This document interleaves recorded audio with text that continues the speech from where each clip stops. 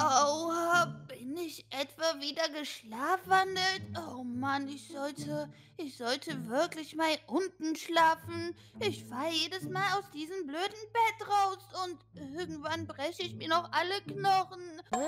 Wo, wo ist denn überhaupt Mama? Die, die, die liegt ja gar nicht in ihrem Bett. Mama, wo bist du? Hä? Warte mal, hat die sich irgendwie rausgeschlichen?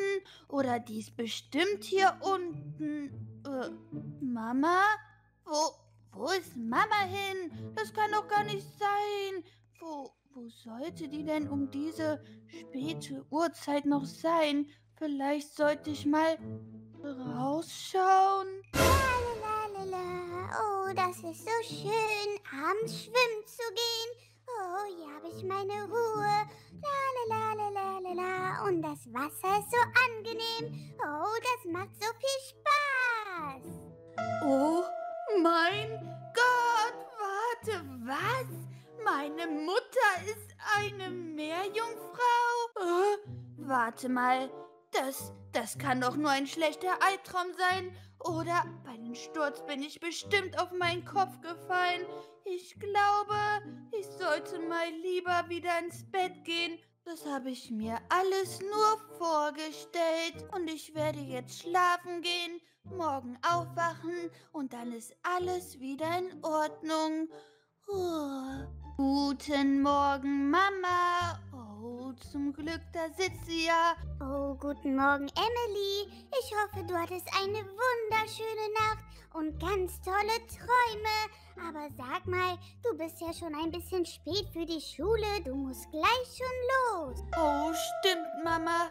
Ja, um ehrlich zu sein, war ich die Nacht wach, da ich einen ganz schön komischen Traum hatte. Äh, und deswegen habe ich ein bisschen verschlafen. Aber ich muss mich jetzt wirklich beeilen. Ich nehme das Frühstück und dann muss ich schon direkt los. Oh nein, ein Albtraum? Warte mal, du warst in der Nacht wach, aber du hast doch nichts Unauffälliges gesehen, oder? Bist doch bestimmt direkt schlafen gegangen. Oh Mann, du solltest dich jetzt wirklich beeilen, Emily. Äh, komische Sachen gesehen? Naja, egal. Ich muss jetzt wirklich los. Ich bin schon viel zu spät. Okay, meine Schüler, dann beantwortet mir mal bitte diese Mathefrage. Was ergibt 7 minus 5? Oh ja, ich weiß, das ist eine schwere Aufgabe. Oh Mann, ich kann mich gar nicht konzentrieren. Meine Mutter hat sich ziemlich komisch verhalten, finde ich. Oder bilde ich mir das alles nur ein? Ich meine, ich war doch wach und ich habe doch eigentlich gesehen, dass sie eine Meerjungfrau ist. Na los, meine Schüler, kann mir denn niemand diese Frage beantworten? Na gut, wenn keiner freiwillig dran sein will, dann, dann wähle ich halt aus. Emily, beantworte du mir die Frage. Äh, warte, welche Frage, welche Aufgabe? Äh, wo, wo sind wir denn gerade überhaupt? Na, Emily, schon das wiederholte Mal passt du nicht im Unterricht auf. Na, das wird noch Konsequenzen haben. Aber du hast Glück, dass jetzt Pause ist und ich einen riesen Kohldampf habe. Ähm, los, Schüler, auf, auf zur Pause. Oh Mann, Emily, was ist denn heute mit dir los? Du bist doch sonst so gut in der Schule. Aber diesmal warst du total unaufmerksam. Ich als deine beste Freundin merke sofort, wenn etwas mit dir nicht stimmt. Oh Mann, ich kann dir ja wirklich gar nichts verheimlichen. Aber ich weiß wirklich nicht, wie ich dir das sagen soll. Ich verstehe es ja selber nicht mal. Ich weiß ja nicht mal, ob es die Wahrheit ist, ob es ein Traum war oder ob ich mir einfach nur den Kopf angestoßen habe. Äh, Emily, was redest du denn da für ein wirres Zeug? Oh Mann, früher oder später musst du es mir erzählen. Also, los, rück schon raus. Okay, aber du musst mir versprechen, nicht auszurasten. Also bleib ganz ruhig. Wo soll ich anfangen? Also diese Nacht bin ich aufgewacht. Äh, dann habe ich meine Mutter gesucht. Und meine Mutter schwamm einfach im Pool. Und das nachts. Okay, das ist ja schon etwas komisch. aber du kannst mir nicht erzählen, dass es das ist, was dich bedrückt, nur weil deine Mutter nachts im Pool schwimmt. Okay, okay, ist ja gut. Also, meine Mutter, die hatte einen Meerjungfrauenschwanz. Also, meine Mutter ist eine Meerjungfrau. Ich weiß gar nicht, was ich sagen soll oder was ich denken soll. Was? Deine Mutter ist eine Meerjungfrau? Wie cool ist das denn? Oh, ich bin der größte Fan von Meerjungfrauen. Sollen wir direkt zu ihr gehen? Sollen wir ihre Fähigkeiten austesten? Ich möchte ihr Meerjungfrauenschwanz angucken. Komm schon, Emily. Oh Mann, jetzt fahr mal einen Gang runter. Ich weiß ja gar nicht, ob ich mir das nur eingebildet habe. Aber ich weiß auch nicht, wie ich das herausfinden kann. Ich meine, ich kann sie ja nicht einfach drauf ansprechen oder so. Oh, ich als Meerjungfrauen-Expertin habe die Idee. Wir machen einen Meerjungfrauentest. Ganz genau. Ich komme einfach heute nach der Schule zu dir und dann werden wir testen, ob deine Mutter eine Meerjungfrau ist. Wuhu! Oh Mann, das kann ja was werden. Aber okay, dann sehen wir uns halt heute nach der Schule wieder. Okay, dann verrat mir jetzt mal, was du für Tests an meiner Mutter machen willst, du Meerjungfrauen-Expertin. Oh, das ist doch ganz einfach. Wir müssen sie einfach dazu bringen, Wasser zu berühren. Denn wie jeder weiß, wenn eine Meerjungfrau Wasser berührt, verwandelt sie sich und bekommt ihren Meerjungfrauenschwanz. Äh, Wasser anfassen? Also, ich bin mir ziemlich sicher, meine Mutter hat schon mal Wasser angefasst. Sag ihr einfach, sie soll ihre Hände waschen oder so. Ich meine, das kann ja nicht so schwer sein, Emily. Hm, du, Mama, ähm, könntest du mir vielleicht einen klitzekleinen Gefallen tun? Wäre das möglich? Ja, natürlich, Emily. Was ist denn los? Was für einen kleinen Gefallen denn? Äh, also ich weiß nicht, wie ich das sagen soll. Aber könntest du dir vielleicht die Hände waschen? Ähm, also so richtig gründlich. Ich, ähm, ich bräuchte dich bei einer kleinen Sache, weißt du? Äh, die Hände waschen? Wa warum das denn? Aber Emily, um ehrlich zu sein, ich war hier gerade am Putzen und die Hände habe ich mir gerade schon gewaschen. Also, warum, warum verhältst du dich denn so merkwürdig? Oh, du hast dir die Hände schon gewaschen? Okay, ähm, dann ist schon gut, Mama. Okay, also das mit den Händewaschen hat nicht funktioniert. Was, was sollen wir denn jetzt machen? Hast du vielleicht noch irgendeinen Test? Weil, äh, ich weiß sonst wirklich nicht, wie wir das herausfinden. Oh ja, natürlich. Ich als Expertin. Lass mich mal auf meine Liste schauen. Oh, da haben wir es ja. Deine Mutter soll Fisch zubereiten, weil ich meine, Fische sind ja so gesagt ihre Cousinen und Cousins und von daher müsste sie das nicht machen. Also, sie würde das nicht machen. Oh, das ist die Idee. Äh, Fisch zubereiten, aber ich hasse Fisch. Oh Mann.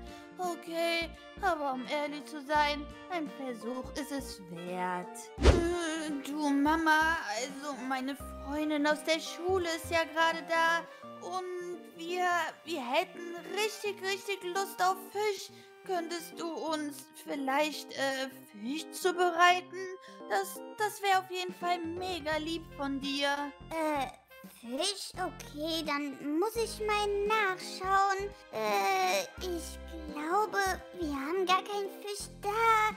Aber zum Glück haben wir Pizza. Oh, Emily, ich kann dir und deiner Freundin Pizza geben, wenn du möchtest. Hm, okay, schade, Mama. Aber die Pizza ist auch in Ordnung. Die werden wir dann äh, jetzt gleich essen. Trotzdem vielen Dank. Okay, diese Möglichkeit hat auch nicht funktioniert. Und jetzt dürfen wir Pizza essen. Oh Mann, ey, was sollen wir denn jetzt tun? Ich werde niemals herausfinden, ob sie eine Meerjungfrau ist oder nicht. Oh doch, Emily. Ich habe noch eine letzte Option. Und zwar hast du deine Mutter ja schon letzte Nacht getroffen, äh, im Pool, beim Schwimmen, nachts allein. Naja, auf jeden Fall musst du heute Abend dich am Pool verstecken und dann wirst du sie auf frischer Tat ertappen und du wirst sehen, ob sie eine Meerjungfrau ist. Oh, diese Idee ist ziemlich gut. Warum hast du das nicht direkt gesagt? Oh Mann, das werde ich auf jeden Fall sofort machen. Okay, meine Tarnung habe ich angenommen. Ich finde, ich sehe ziemlich gut als Kaktus aus. Und so sollte meine Mutter mich eigentlich nicht entdecken. Also hoffentlich. Äh, Oh Mann, da ist sie ja schon. Ich glaube, sie sollte gleich rausgehen und ihr nächtliches Schwimmen machen. Dann wollen wir doch mal sehen. Oh Mann, sie benimmt sich ja wirklich merkwürdig. Okay, dann wollen wir mal. Ich hoffe, mich hat niemand entdeckt. So, wo ist denn jetzt mein Handy? Äh, oh, da ist es ja. Ah, so, dann wollen wir mal die Nummer eingeben. Oh, da haben wir sie ja. Oh, okay. Oh, hallo. Oh Mann, ich habe mich schon lange darauf gefreut, dich wiederzutreffen. Treffen wir uns da, wo wir uns immer treffen? Okay, super. Dann bis gleich. Ich freue mich schon. Äh, was hat meine Mutter da geredet? Und mit wem will die sich denn überhaupt treffen? Oh Mann, ich wollte doch nur herausfinden, ob sie eine Meerjungfrau ist. Aber dann muss ich sie wohl verfolgen. Oh, dann wollen wir mal sehen. Okay, meine Mutter ist hier unten hingegangen. Warte mal, Wer ist dieser Typ denn? Und was macht der denn da? Ah, oh nein, jetzt bin ich hier runtergefallen. Warte mal, rutsche ich gerade etwa den Berg runter? Und zwar zu meiner Mutter? Oh nein! Oh nein, wer ist das denn? Sie hat uns entdeckt. Und jetzt, und jetzt kennt sie mein Geheimnis. Sie weiß, dass ich eine Meerjungfrau Mann bin. Äh, ja. Oh, tu ihr bitte nichts. Das ist das ist unsere Tochter. Äh, warte, was? Hat sie gerade unsere Tochter gesagt? Und warum habe ich überhaupt noch dieses Kostüm an? So ist besser.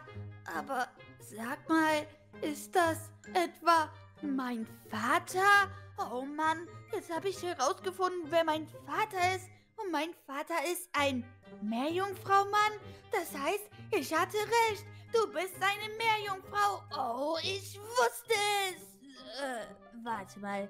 Bin ich jetzt auch eine Meerjungfrau? Oh nein. Ich wollte nicht, dass du das so erfährst. Aber ja, Emily, ich bin eine Meerjungfrau. Dein Vater ist eine Meerjungfrau, Mann. Und du bist auch eine Meerjungfrau. Aber du verwandelst dich erst später, wenn du älter bist. Oh, vielleicht sollten wir uns alle mal an einen Tisch setzen und reden. Das ist wirklich gerade viel Information, die du erfahren hast. Äh, was? Ich bin auch eine Meerjungfrau? Oh, ich glaube, ich sollte lieber mal schlafen gehen. Das ist wirklich viel zu viel. Aber Freunde, falls euch dieses coole Brokehaven Video gefallen hat, dann lasst doch unbedingt einen Daumen nach oben da. Abonniert diesen Kanal und aktiviert die Glocke, um nichts mehr zu verpassen. Ich würde sagen, wir sehen uns beim nächsten Video wieder und